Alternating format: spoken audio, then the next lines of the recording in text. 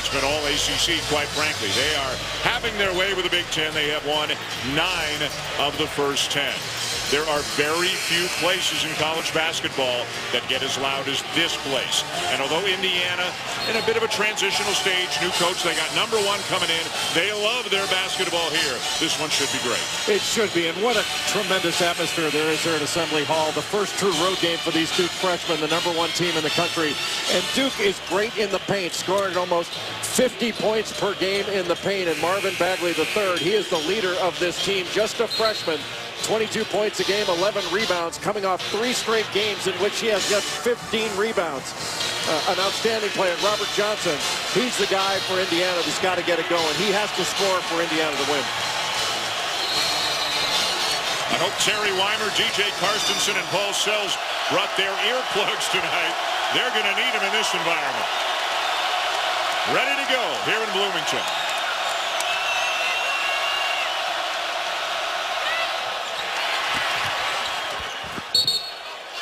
And it is Duke ball. Let's take a look at the starting lineups tonight. Brought to you by Geico, the same starting five for Duke that won their bracket out of the PK 80 in Portland, including Marvin Bagley III having an incredible start to the season. And for Indiana, under their new coach, first-year head coach Archie Miller, they've got some experience. They've got some guys who have been here before. Robert Johnson's been around. Newkirk is a fifth-year senior. And De'Ron Davis, how important is he tonight? with all the size of Duke, Bagley strikes first. Indiana doubling the post right away as soon as it went into Wendell Carter, but he passed it back out. And Grayson Allen made a great pass inside. You're going to have to have quick rotations out of that double if they pass out. Davis over Carter.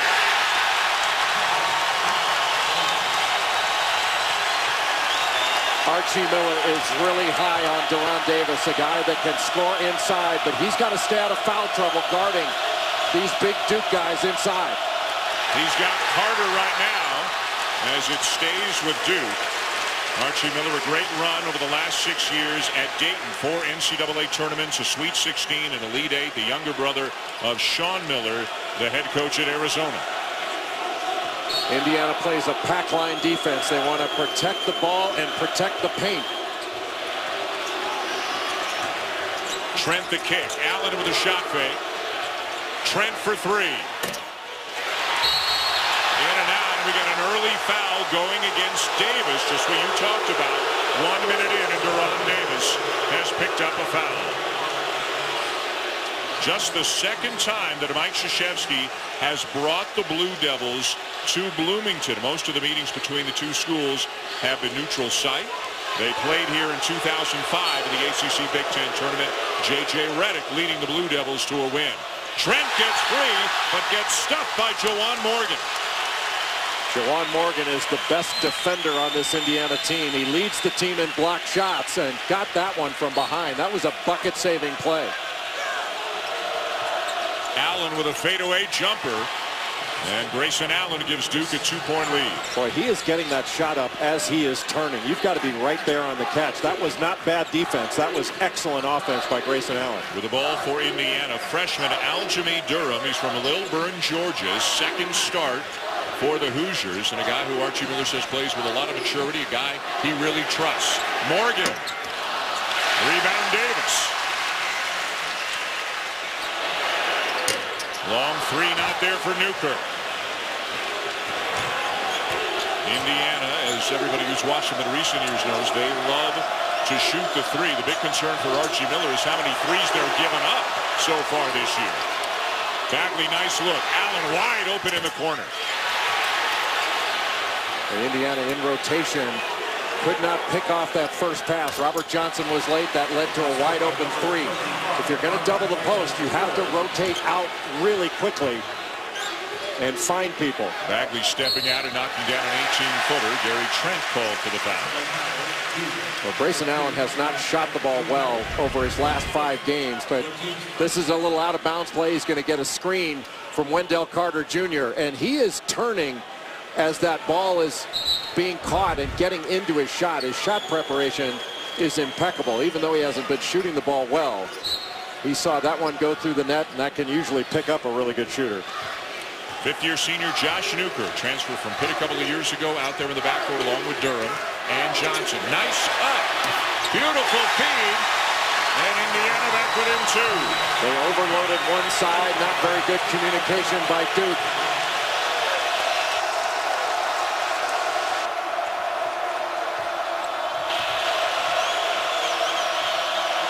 Boy, Allen probably could have drawn a foul if he'd leaned into Johnson there after he got Johnson in the air. Indiana in transition. Newkirk. Davis, and it's time.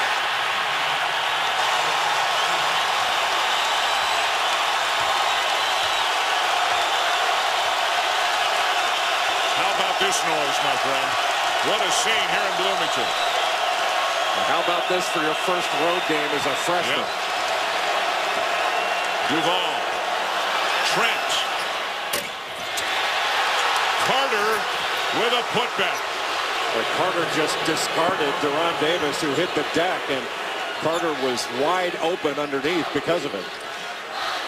Indiana's size really drops off after Davis. If he picks up his second, they're really going to have to improvise against all the length Duke has. Davis. And that pass knocked out of bounds.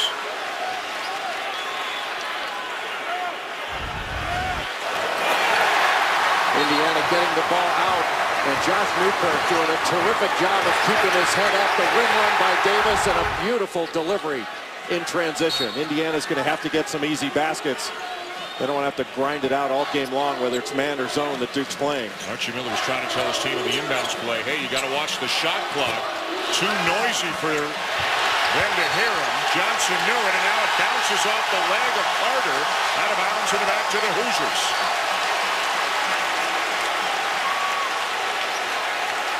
Indiana has been sharp thus far in the basketball game.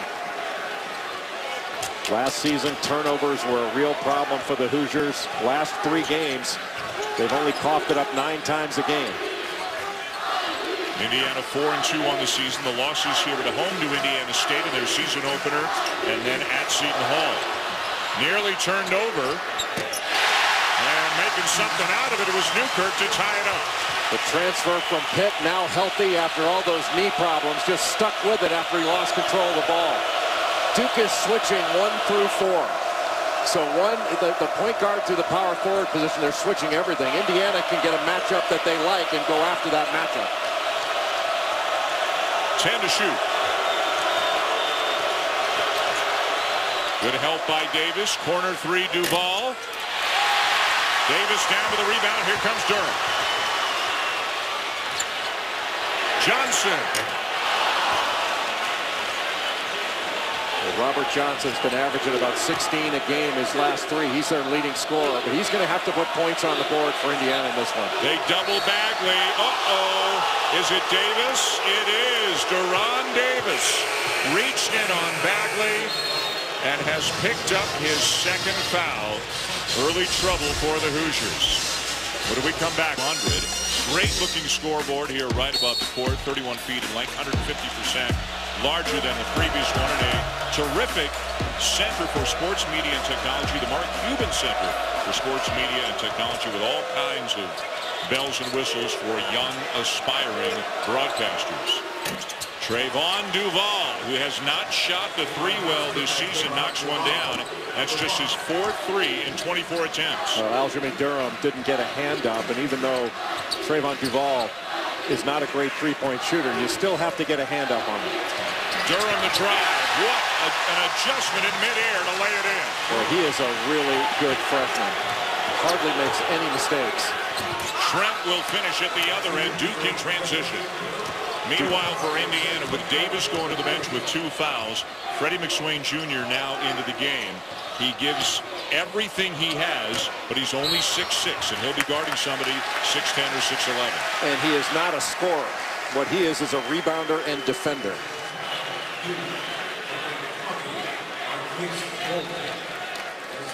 Guy who looks like he could be a football player, maybe develop into an NFL tight end if things didn't work out professionally in basketball. And you talked about it right off the top of the show.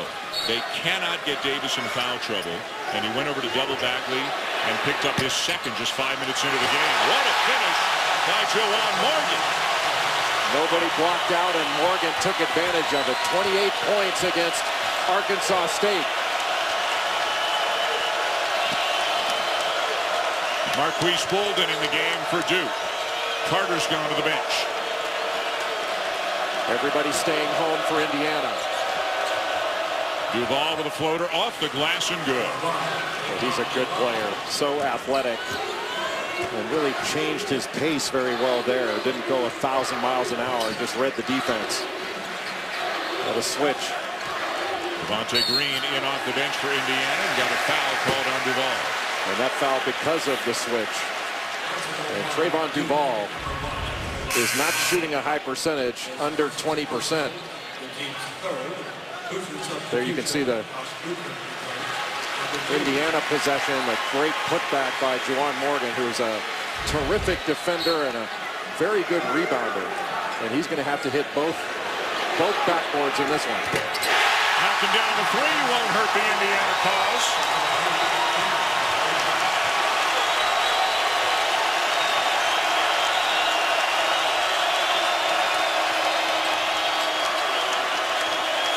But Robert Johnson so far doing a very nice job on Grayson Allen. Duval gets into the lane and floats another one home. Now that's got to be very disappointing for Archie Miller. His defense is designed to protect the paint. They don't mind giving up a 20-footer, but they want to keep you out of the paint. Seven already for Duval, and the Blue, Blue Devils lead by two, just over seven minutes in. Driving into traffic and Devonte Green. Devonte Green taking advantage of Duke in ball screen defense. Not a good job once he was able to turn that corner, but a terrific job of attacking the paint and going right into the body of Marques Bolden and keeping his eyes on the rim to finish that play. Boy, Devonte Green, you know, second on this team in three-point shooting. He's 10 of 25 coming into this one. He's been so consistent in practice, and you can see how talented he can be with the ball. Hoosiers back on top. Well, this is the kind of start, Dan, that Indiana had to have. Yep. Keep the crowd in it. Maybe try to rattle the freshmen a little bit, although they've played some very big games already, as you mentioned. This is Duke's first true road game. Alex O'Connell off the bench, and that'll quieten the crowd. Nice cut. Indiana decided on that possession not to come with the double because Marvin Bagley caught it off the lane. Morgan. Tried to get it over a couple of taller Duke defenders, but couldn't get it over the rim. Duke going one-on-one -on -one in the post. Good fake. Allen still going. Kicks to O'Connell. Duval right into the chest. Good D there by Newkirk. Bagley has it taken away. Green. Oh, oh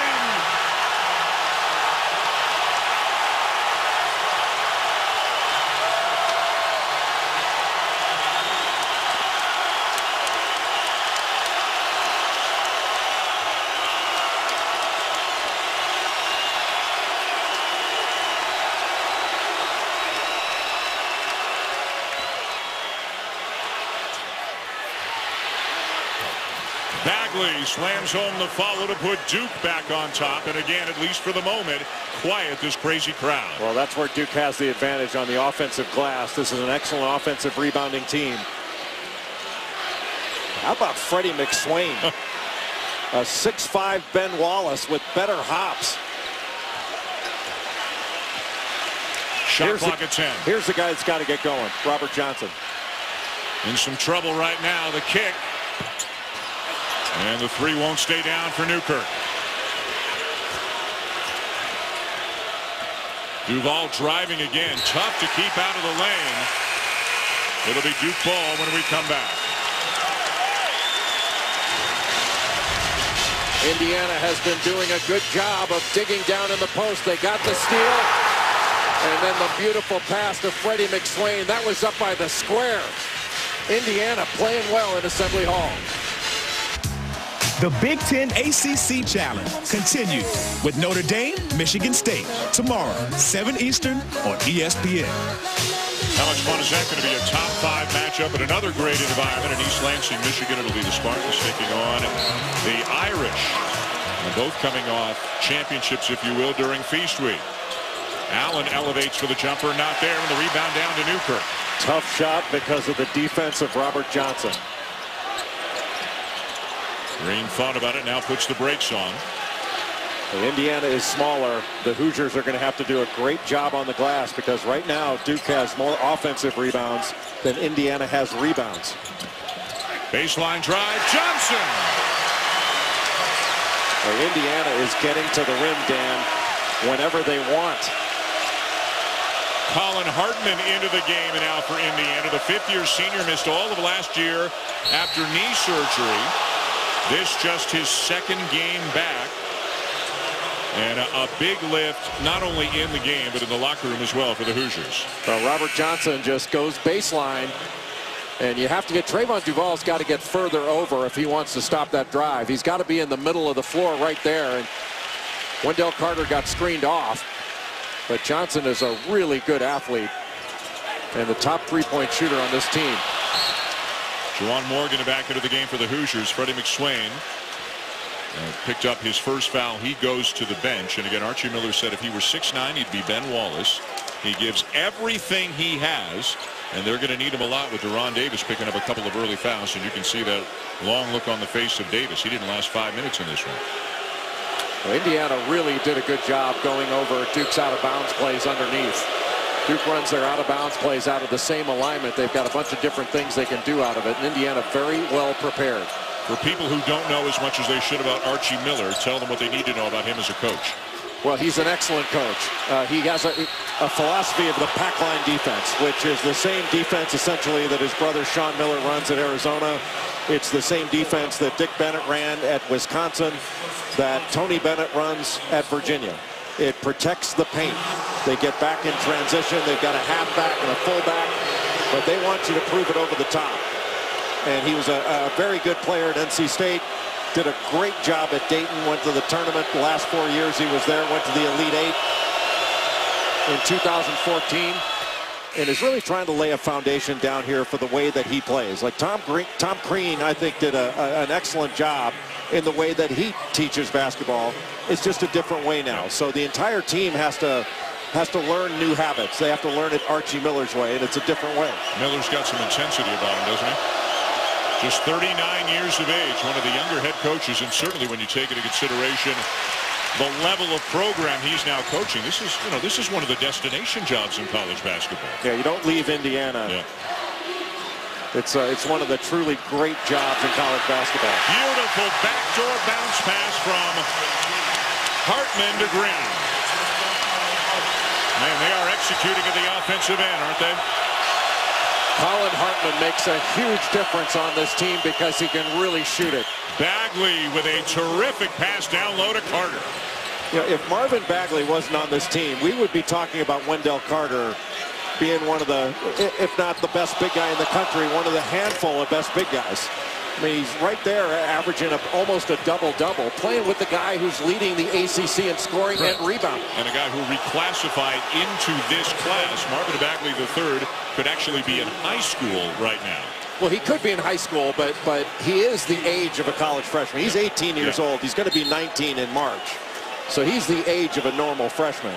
But you're right. He, he technically could still be in high school. So could I, though. Bagley averaging better than 22 points and 11 rebounds per game. And Carter showing the range on his jump shot. But he's got range all the way out to the three-point line. He's got a fantastic touch, can run the floor, and is a big-time rebounder. Leads the team in block shots. Hartman. Great rebound by Morgan.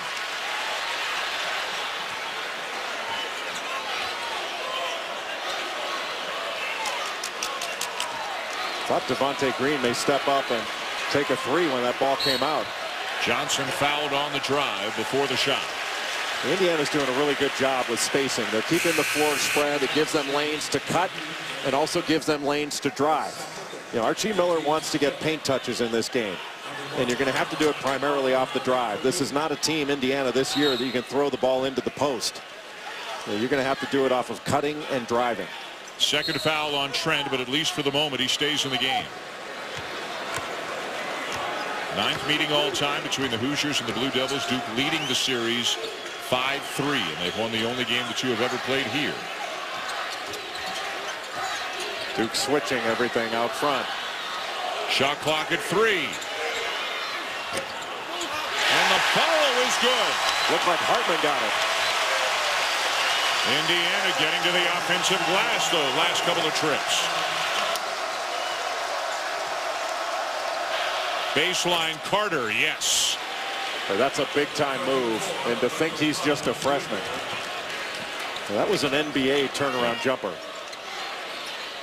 And Duke back on top by two. Johnson trying to drive on Allen. Allen stays in front of him. And Colin Hartman driving.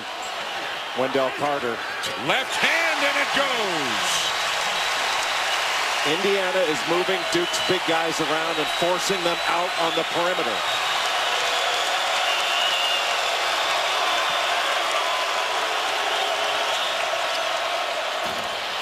Allen to Bagley, who slams it home. No mistake there by Juwan Morgan. He should have been in the middle of the lane. Help side positioning is so important for Indiana. And that's one of the things that Archie Miller working on with this team. What a pass. Newkirk finds Morgan. And we're tied again.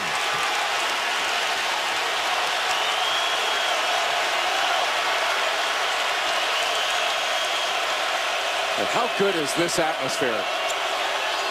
One of the very best in the sport. When they get it going here, Newkirk fouled on the dunk attempt. And looks like he's okay as he's getting helped up. Better not go anywhere tonight. We got a good one go.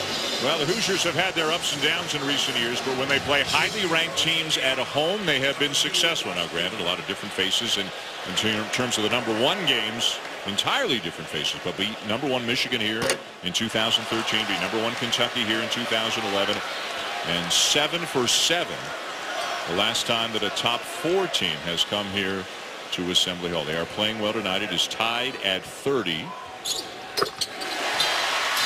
And so far, Indiana's done a great job of getting the ball into the paint. 24 points in the paint for Indiana, 14 for Duke.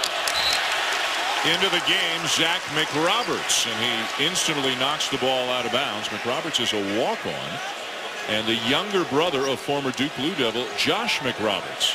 Who started his career at Vermont before transferring into Indiana. Trent and Duval each playing with two fouls for Duke.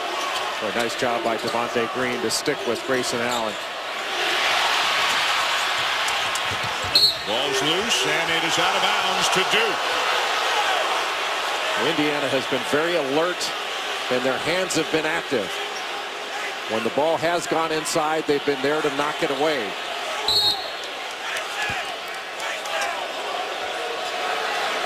You have to think that Duke is going to want to go inside the Wendell Carter and Marvin Bagley III. Shovel pass into Bagley for the slam. Good penetration by Trevon Duval. He's done a great job getting into the lane tonight. Yeah, he's second in the ACC in assists, six and a half a game. Newkirk for three. I think those back cuts have really softened up the Duke defense a bit. He had a wide open three. No resistance at all. The Blue Devils playing their ninth game in 20 days. And again, their first true road game. Allen with a baseline drive and a finish. Oh, that is an athletic finish by Grayson Allen. Looked like he was going to throw that ball away, but made something out of nothing. Now a 2-3 zone for Duke. Hartman. And McSwain met right at the rim by Carter. It'll be a held ball, and the arrow will give it to Indiana. But a great challenge there by Carter. Challenge by Carter. That was a meeting at the summit up top. And Freddie McSwain, great athlete. Looked like Bagley might have gotten it from behind at first, and then Wendell Carter Jr. pinned it. The neck ball. And the initial signal was it is a held ball, and the arrow favors Indiana. See if the officials are changing their mind on the interpretation. I think it was about the shot clock. They're going to reset the shot clock here and put 30 on the board for the Hoosiers.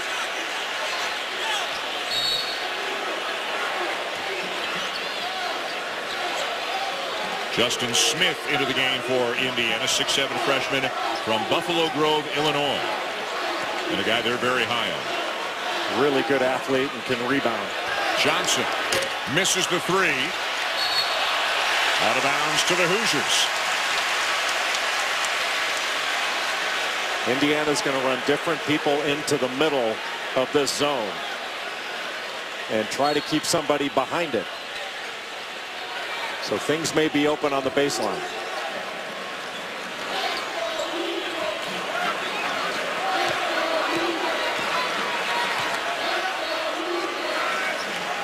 Morgan into the middle of the zone now. Still plenty of time to shoot.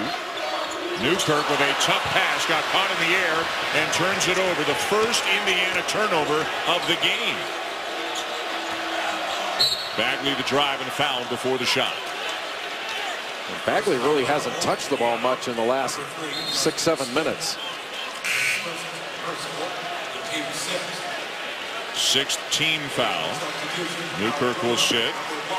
Jimmy Durham, the freshman, back in. He knows some of the guys uh, on the Duke team. He's from Georgia, and three of the Duke freshmen are from Georgia. And they played against each other and oftentimes on the same team growing up. Allen deep in the corner knocks down a three. How quick did he set his feet there? And Robert Johnson, for the most part, has stayed with Grayson Allen. But if you're just a fraction of a second late, he is into that shot. Screen being set by Morgan. Now the long three in and out for Johnson and Allen down with a rebound. Well, this zone defense changed the tempo of the game against Florida and Portland. And it has done so in this game on the road in Indiana. Immediate double on Bagley. He's going to take a three. I think Indiana, even though he can make that shot, Indiana will take that more than him doing damage down in the post. Yeah, that was an impatient shot by Marvin Bagley. Too strong off the glass for Justin Smith. Well, he didn't make it, but that was a strong move. He went right into the chest of Wendell Carter Jr. and backed him up.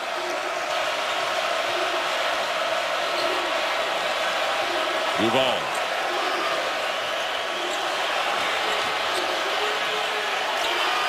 Duval from the corner. And again, another shot I think Indiana would accept. Duval, not the shooter that Trent or Allen, either one of them are. Well, Indiana would not only accept it, they applaud it. They want Trevon Duval to take that shot.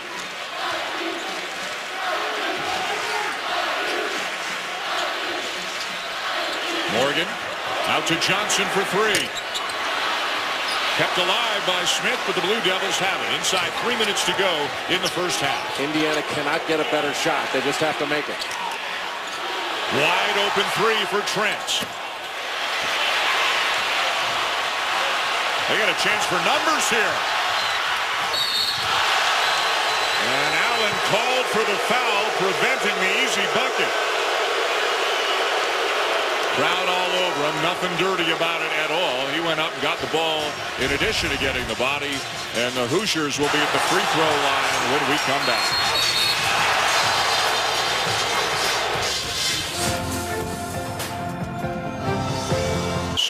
Coaches.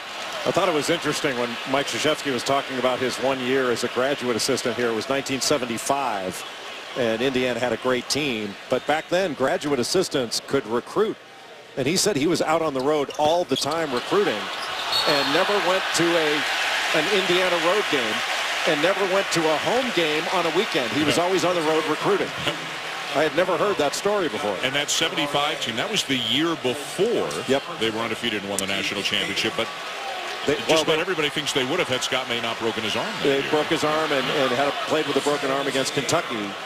uh, in the NCAA tournament. But uh, there are a lot of people around here that would say that that 75 team might actually have been better than the 76 team. Hard to imagine, yeah. but that team with Steve Green and John Laskowski, and then, of course, the 76 team, Quinn Buckner and uh, Scott May, Bobby Wilkerson, Tom Abernethy, Kent Benson, just a, a, remarkable team. And then Jim Crews would kill me if I didn't say, and Jim Crews. One of two for Morgan. It's a two-point lead for Duke. Two and a half to go. And a great first half here with Bloomington.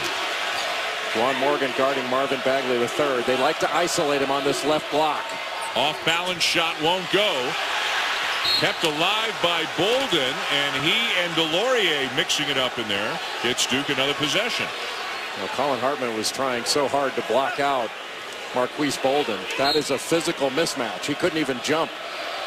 And right now, Duke just huge on the front line. 6'11 Bolden, 6'11 Bagley, and 6'9 DeLaurier.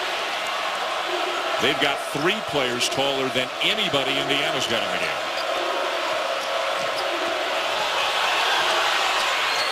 Bagley open for a three.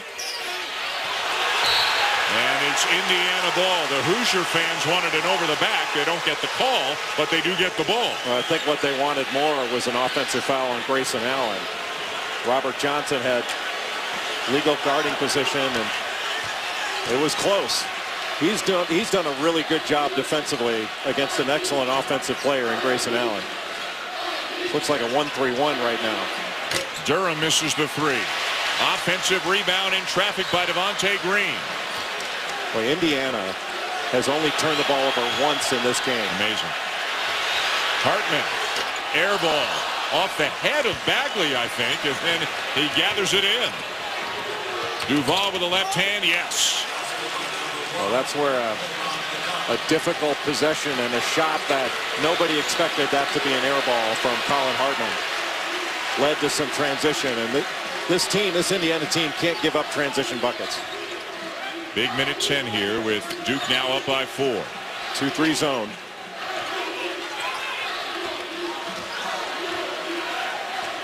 Green using the screen, lost his footing. Allen. And a foul. Morgan called for the foul.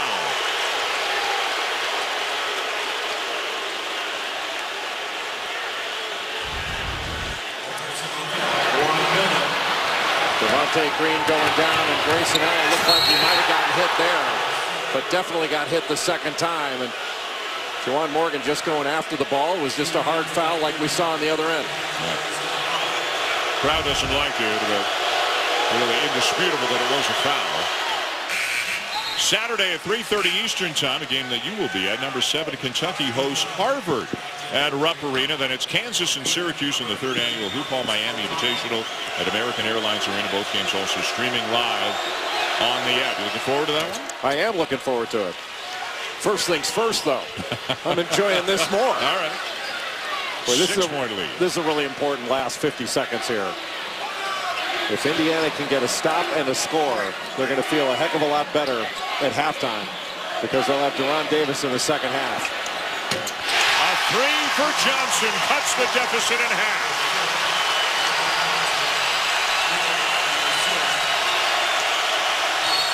Timeout Duke.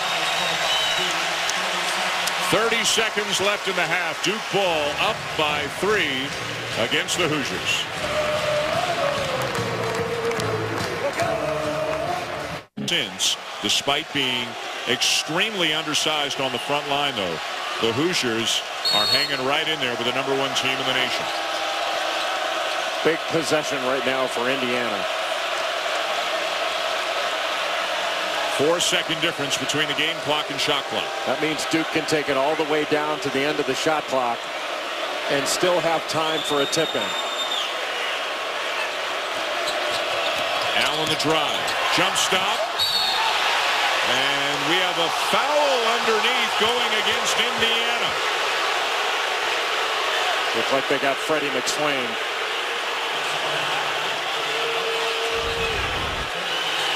Twenty-one and one.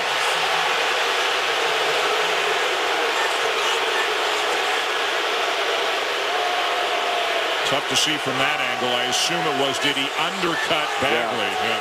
They're saying he went under him. Yeah. Second on McSwain. He's looking for the evidence himself. Bagley started off the year not shooting free throws well at all, but he's been getting better and better. Went 9 for 10 in the win over Florida in Portland on Sunday. Yeah, he had hit 18 of his last 23 before that one.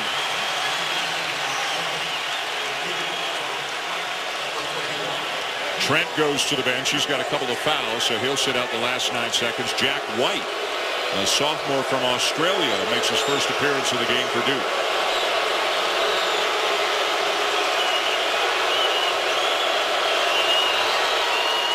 Still plenty of time for Indiana to get a good look here.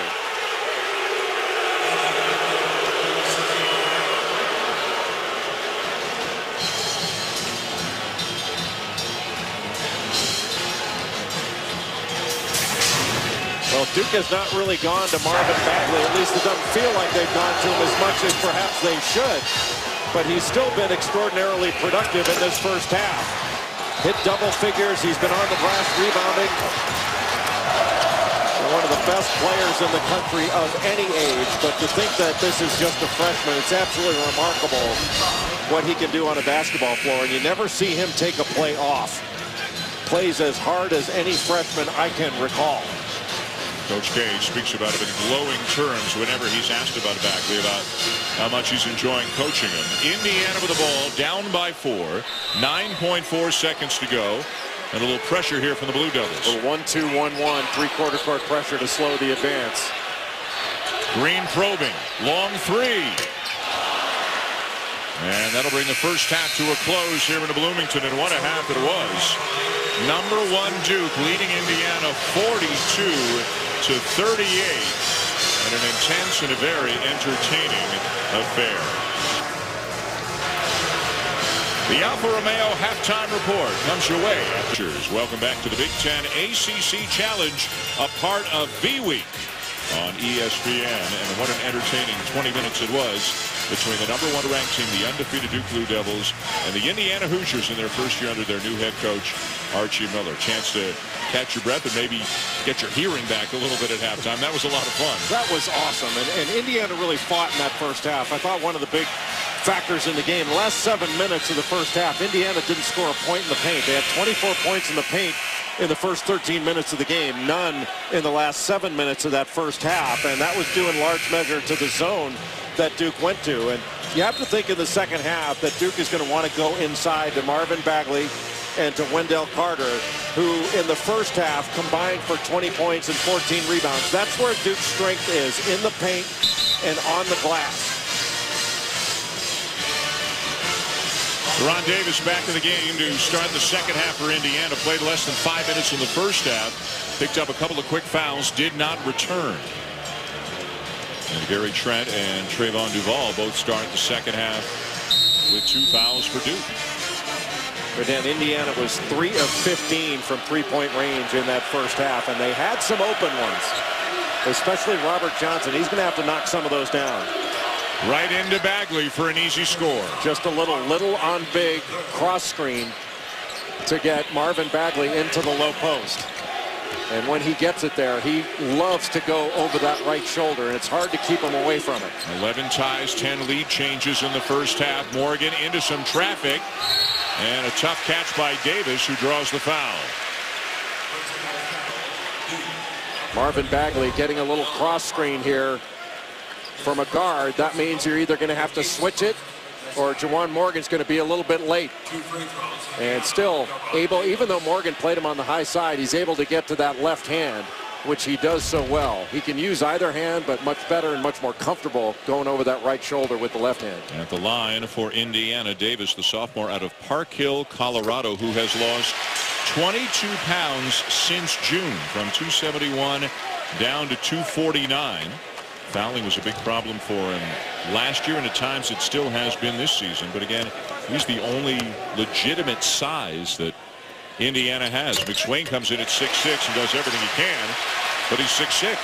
Well, Davis is a horse. He's a solid post player. He can seal, get step-ins, a good offensive rebounder, but he has to stay on the floor.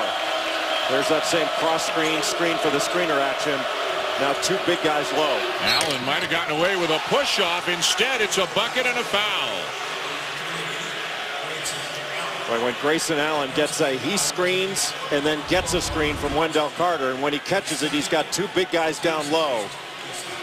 And Robert Johnson just looked like he ticked him on that elbow. And Allen virtually automatic at the line as the lead grows to seven.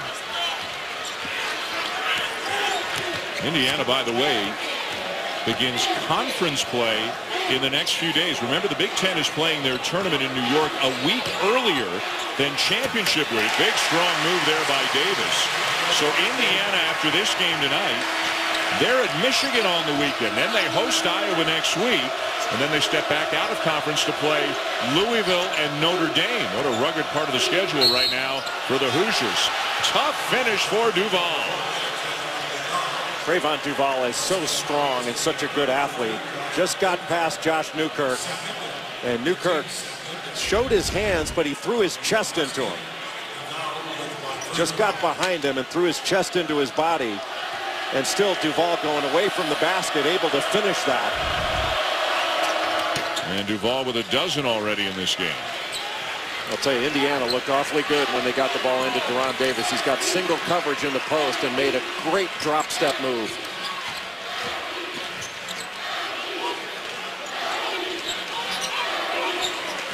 Working hard for position, and we've got another foul going on Carter. His second. Really good job by Davis to stay active, and when he got that contact, sold it a little bit, and was able to get the foul.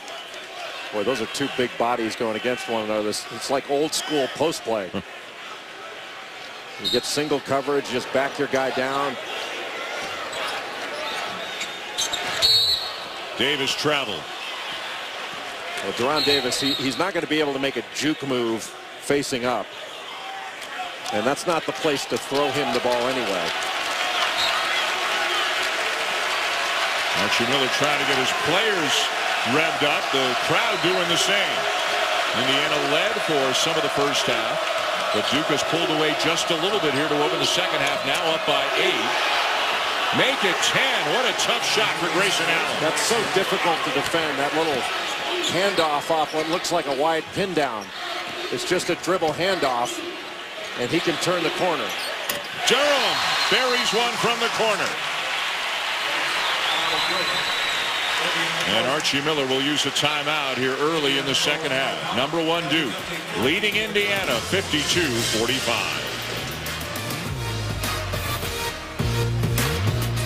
When you download the app now.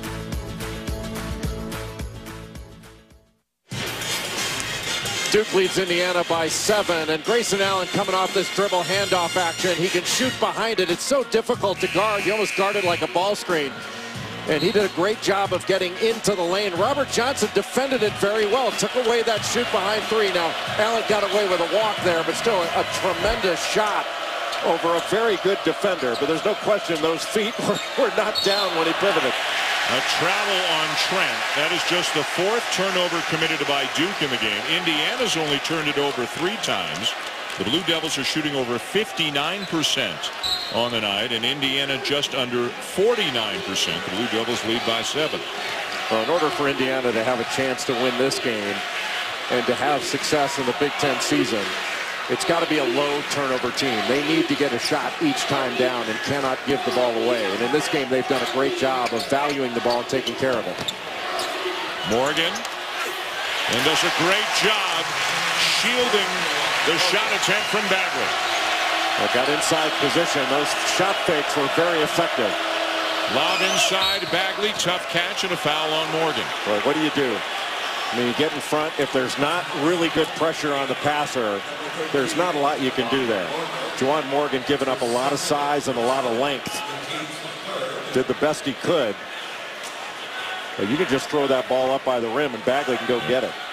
Morgan 6'7", 6'8", Bagley 6'11", the second foul on Morgan. Bagley gets it on the inbounds. Knocked away, Indiana ball. Newkirk in transition.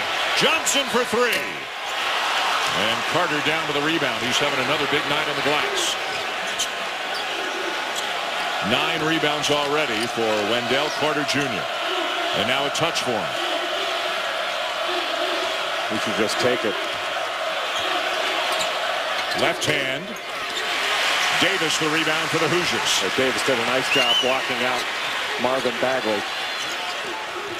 Double drag. Newkirk had Davis for just a fraction of a second down low. Now they got a mismatch. Morgan trying to post on Duval. And now Morgan comes out to get a touch. Well, they could have switched back there, but did not. Morgan with five to shoot. Trent gambles and a reach-in foul against the Blue Devils. Boy, he did it right at the end of a clock. Number three on Gary Trent Jr. Indiana is getting some favorable matchups on the offensive end, but they need to go to those. You know, Newkirk had Marvin Bagley on him, and then all of a sudden Trevon Duval is having to guard inside. Indiana needs to take advantage of that. Johnson covered by Bagley right now. Johnson driving him. Somehow got the shot off and draws the foul. I think Indiana can do more of that. When you have Marvin Bagley switched off, even though he's a great athlete, he can guard on the perimeter. That's advantage Robert Johnson. He mishandled the ball, but still was able to get in there and get a, a shot off and get a foul. But Indiana can still, when, when Duke's in man-to-man, -man, they can spread them out and drive them and, and get the switch that they want and the matchup that they want. The problem they had was against the 2-3 zone, really. Davis out, Freddie McSwain Jr. back in. All the loud moments that there were in the first half of this game tonight. McSwain's conversion on the alley-oop was the loudest. Three-point game.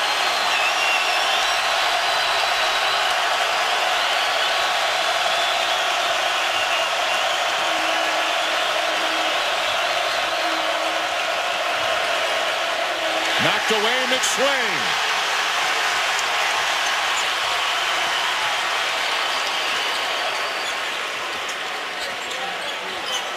Johnson again with a Bagley on him. Pull up jumper. Down to the rebound. Carter is 10th. He still could have taken that to the basket. I think, I think Robert Johnson settled there for a jump shot. Trent misses the three. Carter with a flush. What tremendous inside strength and board strength this Duke team has. It reminds you a little bit of North Carolina's strength on the glass last year, which ultimately helped lead them to the national championship. Yeah, a lot more size than your typical Duke team in recent years. A lot less three-point shooting. Morgan, double team, and knocked away Duke ball. Can't hesitate when you get the ball down into the post. You have to make a, a strong and quick move. Duval is fouled on the drive. A timeout on the floor. If it's not Bagley who's doing damage underneath Jay, it's Carter for the Blue Devils. Uh, Wendell Carter, a great rebounder, always goes after it with two hands, and he's a finisher. Renew uh, Syracuse and UConn, the 94th meeting, the Orange leading 55 to 38, and Syracuse kind of an under the radar, really interesting team right now. Well, they're young and they're very young along the front line, but it's a it looks like a Syracuse team. They've got good length. They play that zone very effectively. And Tyus Battle, just a sophomore, is having a terrific year. And Frank Howard's taken over the point guard position. Uh, there may be some names that people don't know, but they'll know them by the end of the year. Syracuse is a, an NCAA tournament team again.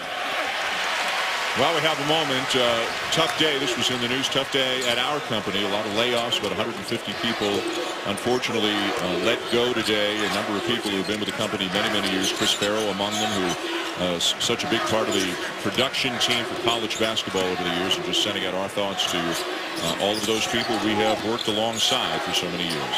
All teammates, all great colleagues.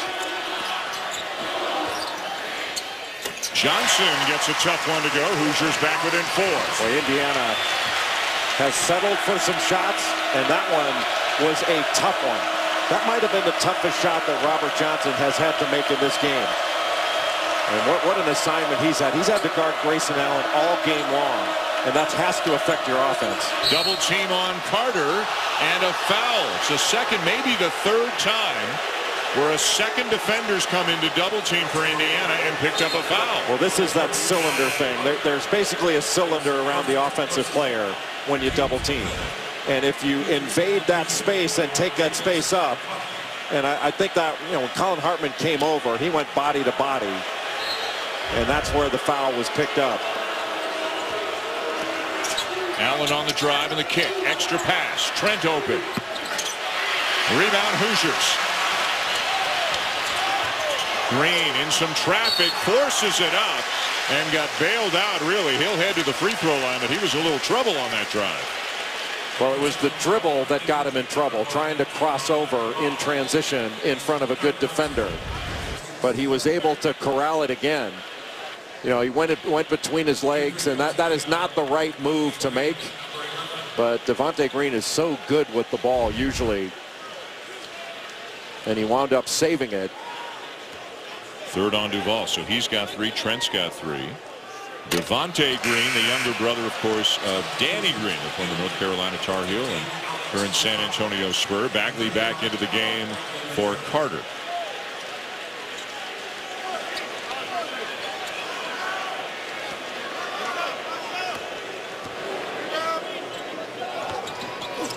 One of two.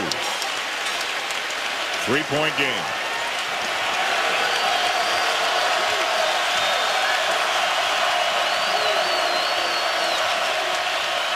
Allen for three.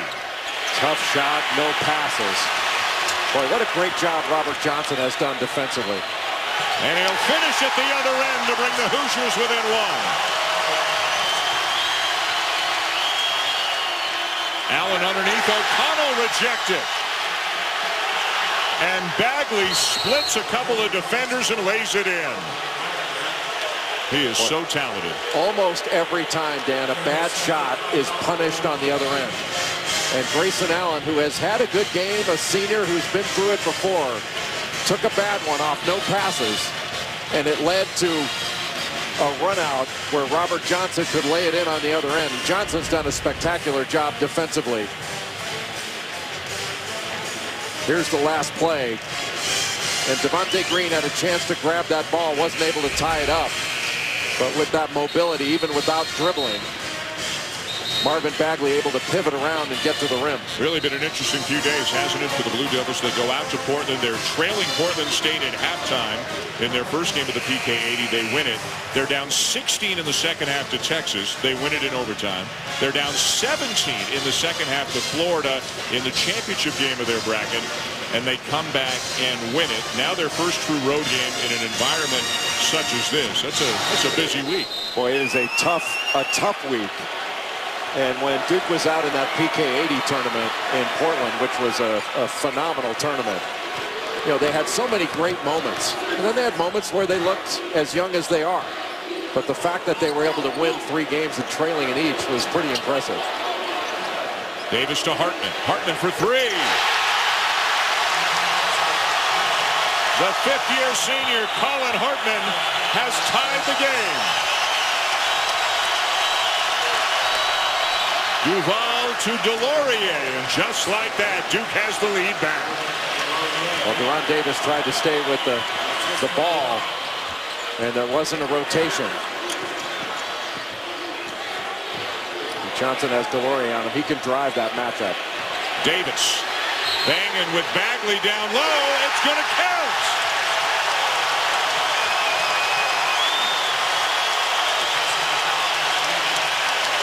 Dan, this is why De'Ron Davis needs to stay in the game. He got Marvin Bagley on his back, just bowled his way into the lane, and was able to get within two feet from the basket. And as talented as Marvin Bagley is, and as athletic as he is, he is not going to be able to stop yep. a guy with the strength of De'Ron Davis. Well, he did such a good job. Last time he caught it on that block when he took it into the middle and then had that drop step. Yeah, he's he's got post moves. He's a good player. Hartman saves it.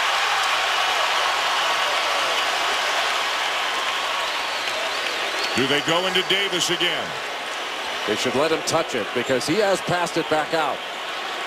And you want to get some, some cuts off of him, too. Green to the cutter. Hartman is fouled. What an emotional lift. The return of Colin Hartman gives this Indiana program. An emotional lift. He's had two knee surgeries, two ACLs, but he's the X factor because of how he can stretch the floor.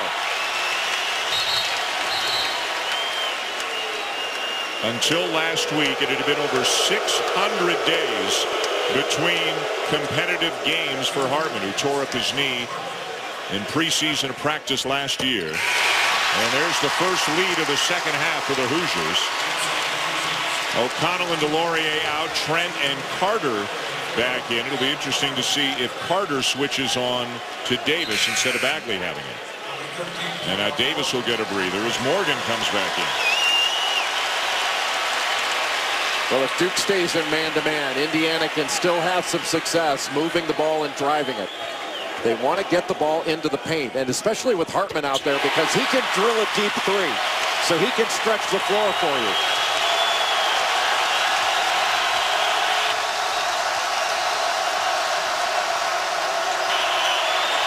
Duval had the pass deflected, gets it back. Carter and Carter called for the travel.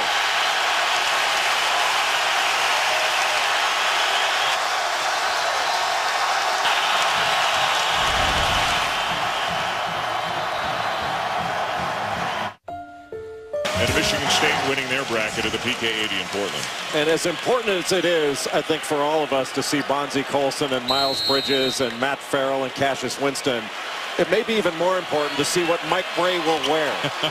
what fashion statement will um, Mike Brey make in East Lansing tomorrow night? I, I saw a comment from him on that as Johnson gets inside and extends the lead. I think you're going to be disappointed tomorrow night. I think Brey's going back to being a, a regular coach tomorrow. Four-point lead Hoosiers. A strong and athletic drive by Robert Johnson. Takes Grayson Allen right to the elbow, spins, and gets all the way to the rim. Trevon Duval a bit late in getting there. But then on that action that we talked about before, that dribble handoff action on the left side, just picked up a foul trying to guard Allen. Three on Johnson. He heads to the bench. Green back in when he has earned a rest. Robert Johnson has played his tail off on both ends of the floor. And Green picks up an immediate foul. That'll be the seventh on Indiana. And that'll put Duke into the bonus. Both teams now in the bonus with 11.36 to go. Both teams have played a relatively clean first half as far as fouls and turnovers were concerned. Grayson Allen at the line for one and one. You know, Dan, thus far in the game, Wendell Carter and Marvin Bagley are a combined 12 of 18 from the field. They've combined for 26 points and 18 rebounds. Those two need to touch the ball, and Duke needs to play through them going down the stretch. They're both in the game right now. Davis and Hartman up front for Indiana. Bagley is on Hartman. Carter is on Davis. More of a fair fight in the strength department with Carter on Davis. Duke switching. Carter trying to recover, gets back in time, 10 to shoot. Davis gets inside again.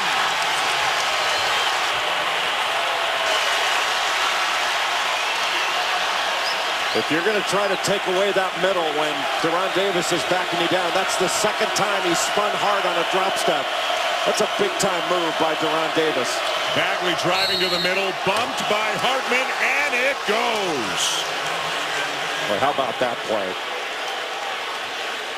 Trying to isolate Marvin Bagley, and they have to keep going to him. You know, Collin Hartman is playing his tail off, but he's no match defensively for what Marvin Bagley III can bring. And at the Indiana shoot-around today, the game plan was make Bagley catch the ball as far away from the basket as possible. They did it. Make him drive to the right, into the middle where the help is. They did it. He just made a play. Yeah, the problem is there wasn't help where Yeah. it should have been. Yeah. But he's driving to his right, then shoots with his left hand. And the three-point play brings Duke back within one. I'd let De'Ron Davis touch it again. If they're going to go one-on-one in the post, give it to him. Got a switch now. He's got Bagley on him. Green looking for him, finds him.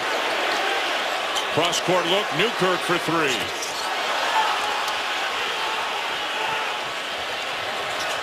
That might have been a shot fake and drive for Newkirk as the better play. And Carter's going to get whistled for the foul here, using the right elbow to get around the defender. And didn't need to. I mean, he had the angle. All he had to do was make a quick and decisive move.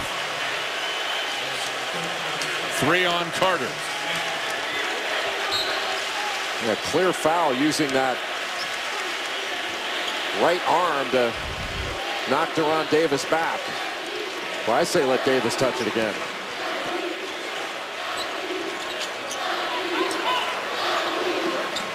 Sets the screen and now heads down into the post. Carter on.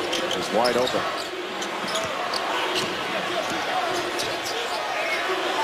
Six to shoot. Green will launch.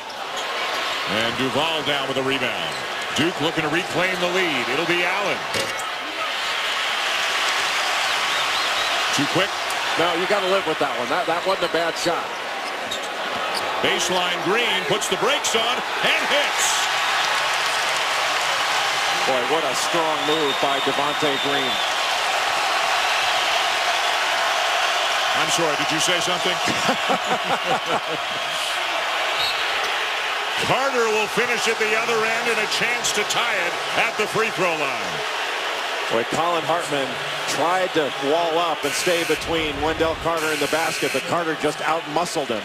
After setting that ball screen, he got picked up on the roll. Needs to get picked up a little higher. You got to bump him higher. If he catches it that deep, it's all over. It doesn't matter who you are.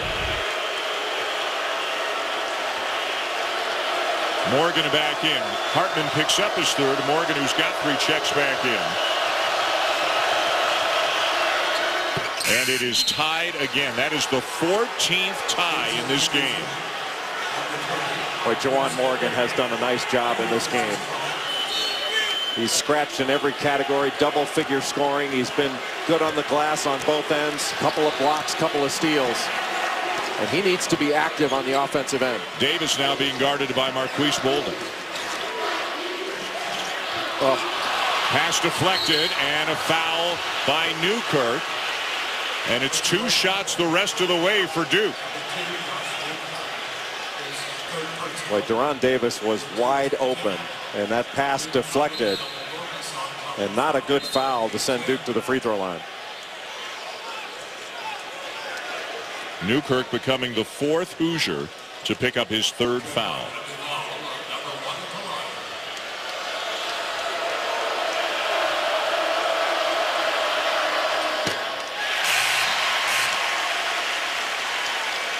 But Trevon Duval second in the ACC in both assists and steals. And how good was he in late game situations in Portland?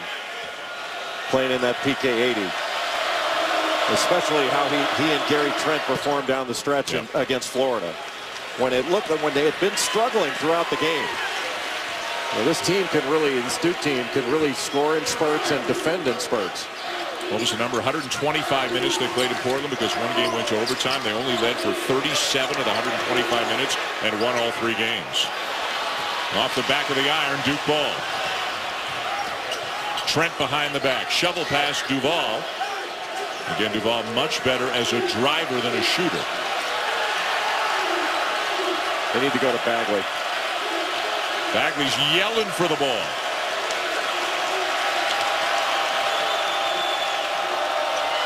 Instead, it'll be a long jumper by Duval, and it belongs to Indiana. Not a good possession for Duke. And another terrific rebound by Juwan Morgan. Morgan the kick. Johnson the drive, and another finish. Two paint touches in transition for Indiana.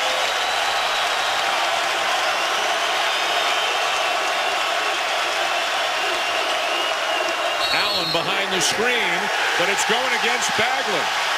He just picked up his third. Timeout on the floor. Back and forth they go here in Bloomington.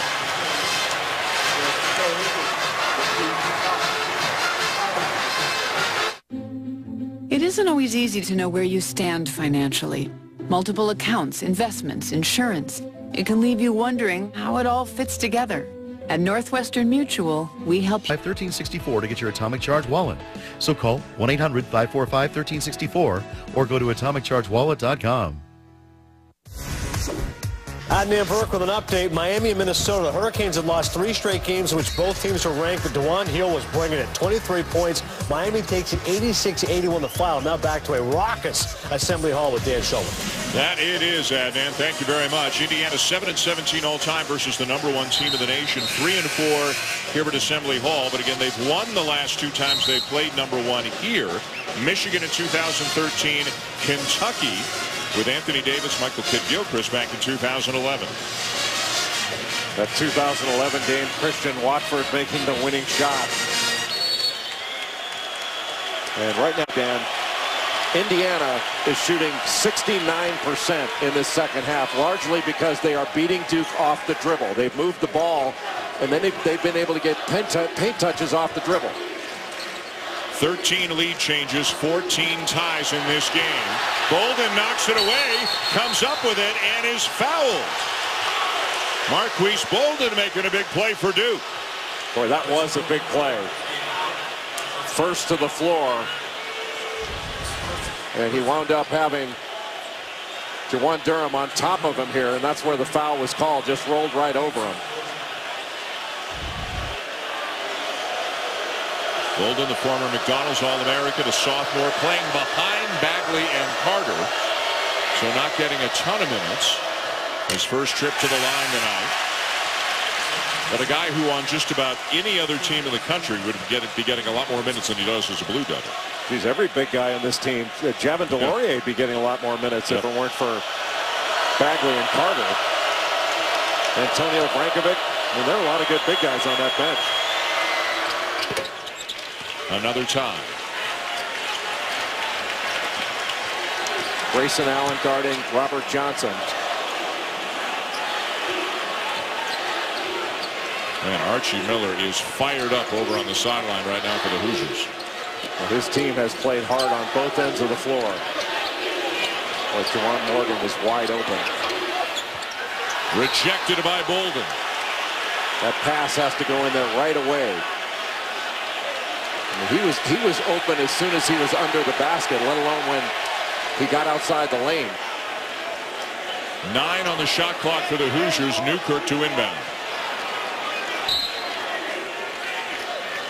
Indiana four and two on the season. The lob knocked away by Bolden. Another big play.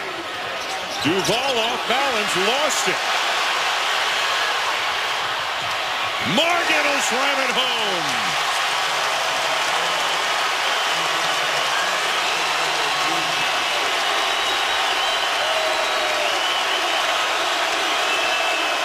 Watch a back pick here.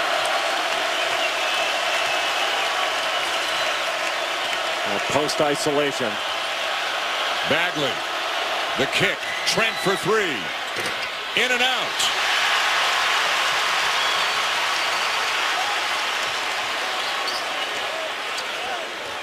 Green. Bounce pass. And the finish for Davis. What a feed.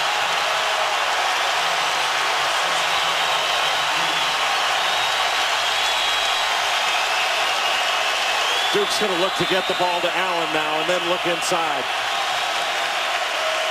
What a pass that was. And what a game. Trent into Bagley and a chance for three. That's- and if it's Morgan, it's his fourth. That's just a question, Dan, of where you catch it. You Marvin Bagley caught it two feet in the paint. And there's nothing that Juwan Morgan can do there. You just have to wall up. You bring that arm down. You're not only get. This pass is absolutely magnificent. I mean, he threw that right from Marques Bolden's pocket. Talk about a pocket pass. That was right on the money. And a terrific screen and shape by De'Ron Davis. Morgan is fourth. He goes to the bench. Hartman takes his place. McSwain has come in for Davis as well. So Indiana smaller. Well, Morgan may be out for a couple of minutes, but he'll be back. He's been a huge factor in this game for the Hoosiers. 21 for Bagley. It's a one-point game. Well, you have to think that Robert Johnson is where you want to go here.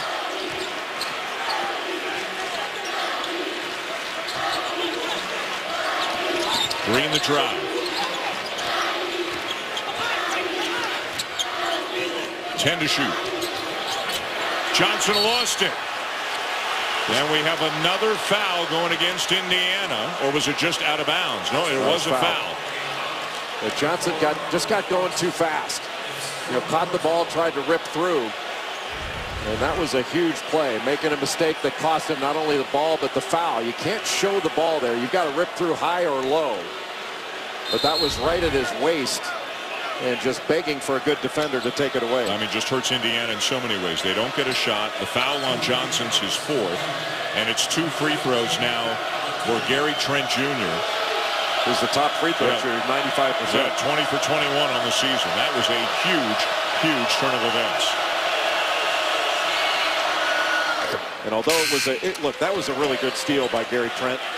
But if you're if you're looking at it from Indiana's perspective, you would call that a, an unforced error. So Johnson has to sit. He and Morgan each on the bench with four fouls. And this is not a great offensive lineup here for Indiana.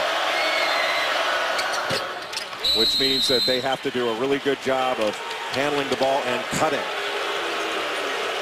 Timeout Duke with 5.41 to go.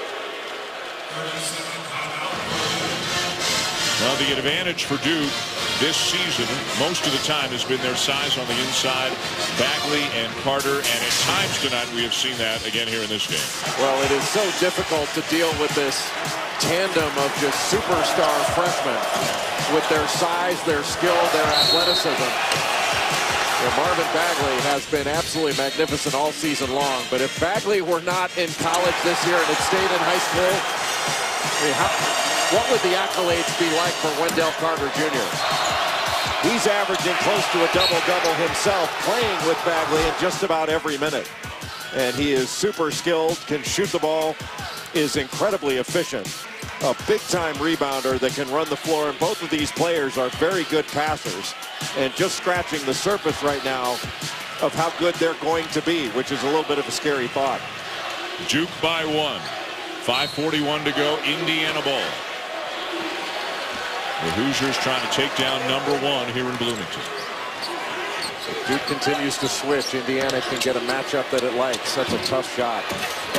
McSwain the follow. Hartman there to give the Hoosiers the lead. Well, McSwain cleared everybody out, grabbed the rim, but it didn't look like it affected the ball.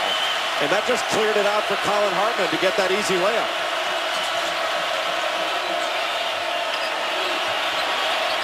Bagley over Hartman, no. Rebound Carter and a foul.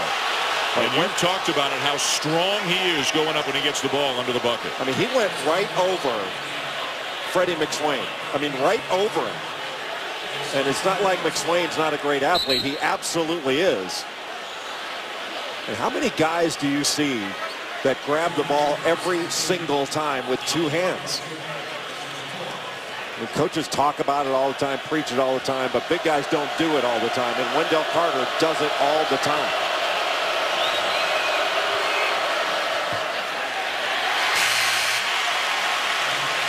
Davis back in for McSwain.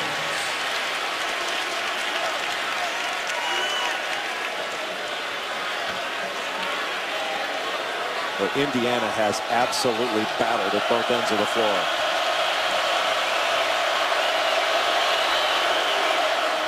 Tied again.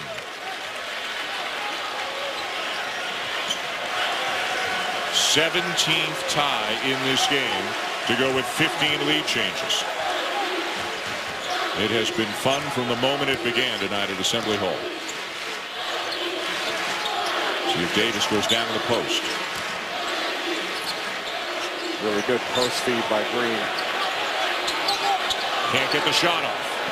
Repost and a foul from behind by Carter. You know, that's great basketball, Dan. De'Ron Davis didn't have it right away, kicked it back out, reposted, and then Devonte Green hit him with another great post feed. He made two good post feeds in one possession. Didn't have it, kicks it back out, and then Wendell Carter gets caught reaching with two hands on. That was really well executed, a terrific pass and a, a great job. It, it, just shows when the, when the ball goes inside, though, you can't let it come back out. The foul on Carter, his fourth. Archie Miller talking about one of the offensive goals for this team is paint touches. Uh, in past years, obviously, they shot a lot of threes. The, there's been some change in personnel between last year and this year, and a coaching change as well. And what they're trying to do is get the ball inside a little bit more, but Davis misses both free throws, and Duke can take the lead. Little horn set. Carter headed to the line yet again. Well, that was a great job by Wendell Carter on that little rub screen. He didn't really slip it, but he just took the contact. He was gone right away. I mean, that was beautiful. And Collin Hartman can't get over there to get in his way. I mean, if you're going to guard that dribble and come off of him, he did exactly the right thing and just dove to the rim. De'Ron Davis stayed with the ball, and that opened up a, a wide berth for Wendell Carter to get to the rim. And Duke now leads by three. Bolden in, Carter out. McRoberts in, Durham out. Every whistle brings a substitution or multiple substitutions. Remember, Carter's got four, so both coaches trying to navigate their way around some foul trouble, playing a little offense-defense with four and a half to go. Every possession critical right now.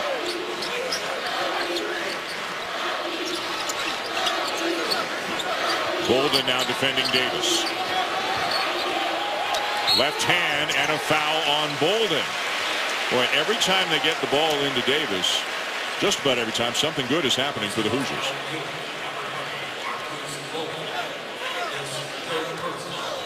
Well, the only problem is you know, Davis goes to the free throw line, not a great free throw shooter. He needs to knock these down.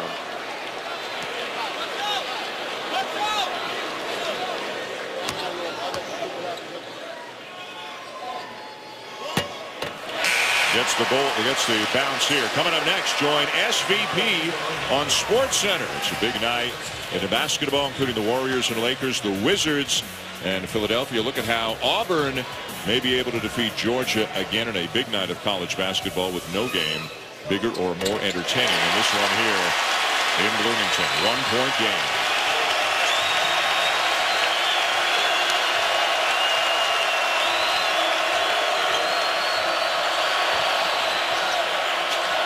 Allen with a shot fake, launches a three, got it. Wow. Huge. That was, that was a big-time fake.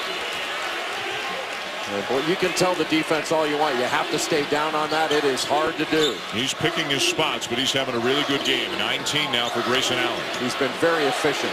Davis again and fouled again. Was it Carter? Yes. Carter's out.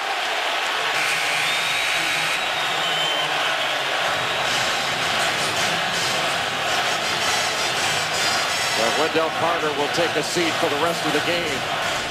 Grayson Allen, the senior from Jacksonville, Florida on the relocation pass. A great fake step back and drains it. What a game in Assembly Hall.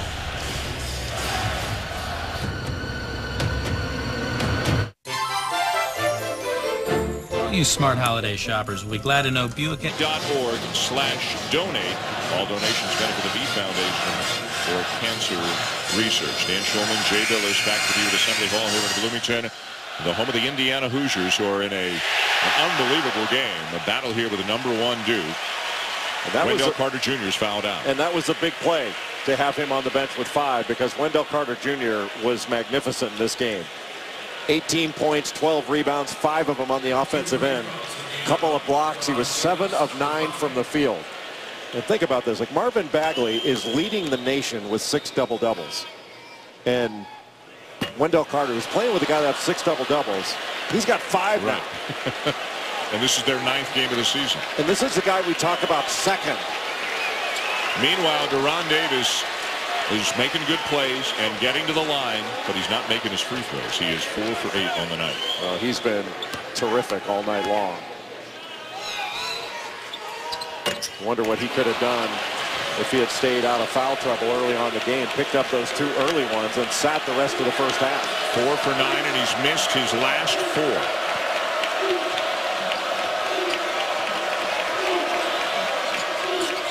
Still trying to isolate Marvin Bagley. Allen gets it to him. Bagley getting around and banking it home. What a move. How do you stop him? It's one Morgan's a good defender, but he can't he can't keep Bagley from getting that position, and he's getting caught behind.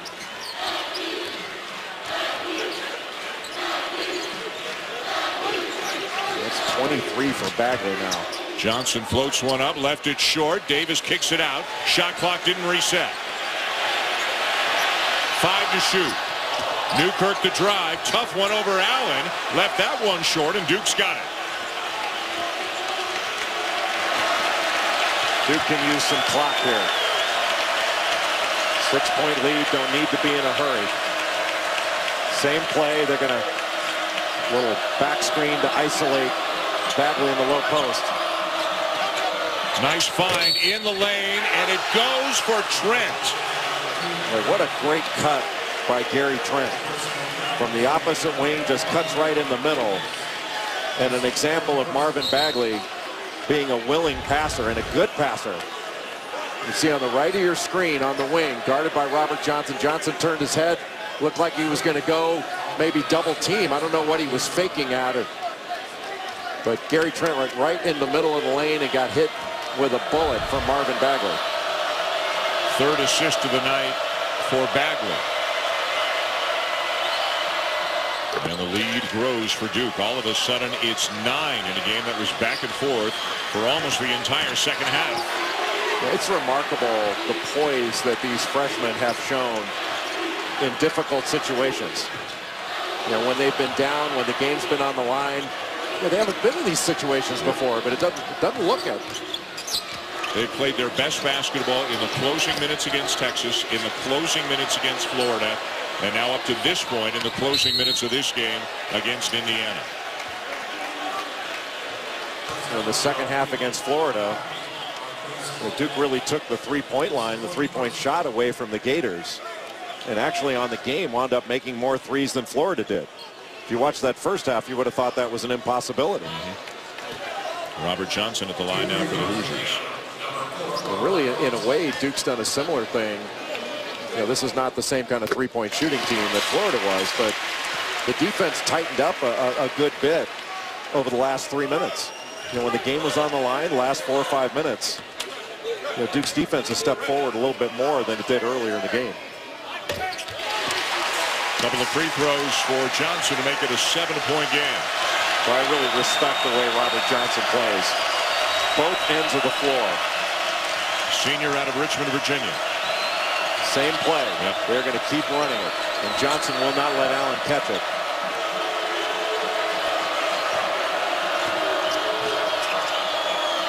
Bolden the handoff for Allen. Will they be able to get it into Bagley? Fade away instead for Allen. Oh. Tough shot.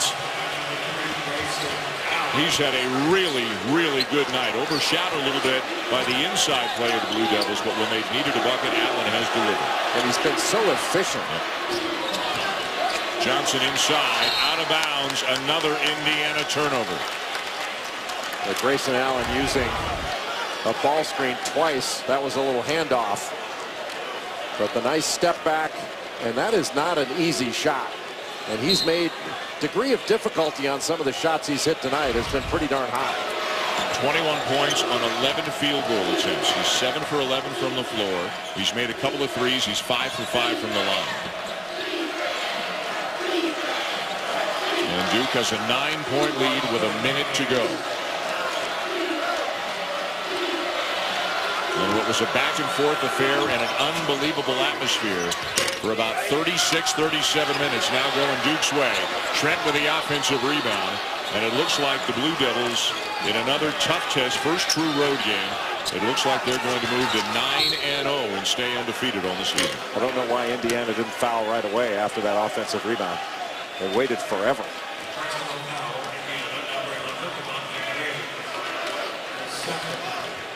This was a, a great environment for a basketball game. And to have a young team come into this environment after all the basketball Duke has played, what, in the, in the last 20 days they played at nine games? Nine games, yeah. Pretty impressive for a group of young players to do this. Big Ten ACC Challenge wraps up tomorrow night with a great game. Number five, Notre Dame. Number three, Michigan State. 7 o'clock Eastern Time from the Breslin Center. It'll be another great environment.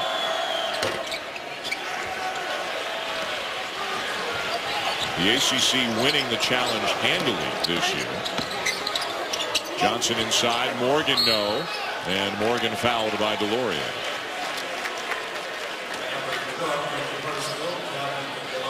Indiana fought hard and gave Duke all they could handle for about 36 minutes tonight. But the Hoosiers will take the loss to fall to four and three. And again, conference play begins in three days for Indiana. The Big Ten tournament a week earlier this year. So every team is playing two conference games next week.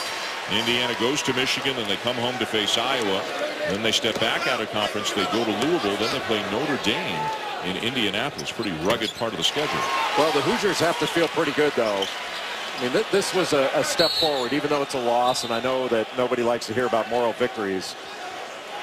If Indiana plays with this type of intensity and defends at a high level, the, the start to the Big Ten is gettable for them. Both Michigan and Iowa are gettable games for Indiana to start out conference play. Robert Johnson fouls out, but he, he had a really good game. Had the toughest assignment defensively to try to stick with Grayson Allen the majority of the game. He's a good player. And Trent can add to his totals. As for Duke, after this game, they head home. And on the weekend, they will host South Dakota. You can see that game on ESPN2. They've got five games in December. Four of them are at home and one game at Boston College. They've got a a league game as well in December.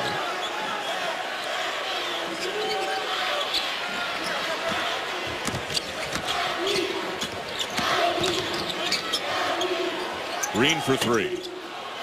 And Trent runs down the long rebound. Just 17 seconds left, and it looks like that's going to be all. No more fouls. It'll be a 10-point win for the Blue Devils, which doesn't really accurately reflect the way this game went for about 36 minutes. But for this young Duke team, four freshmen who are starters, another tough test, and they pass it again.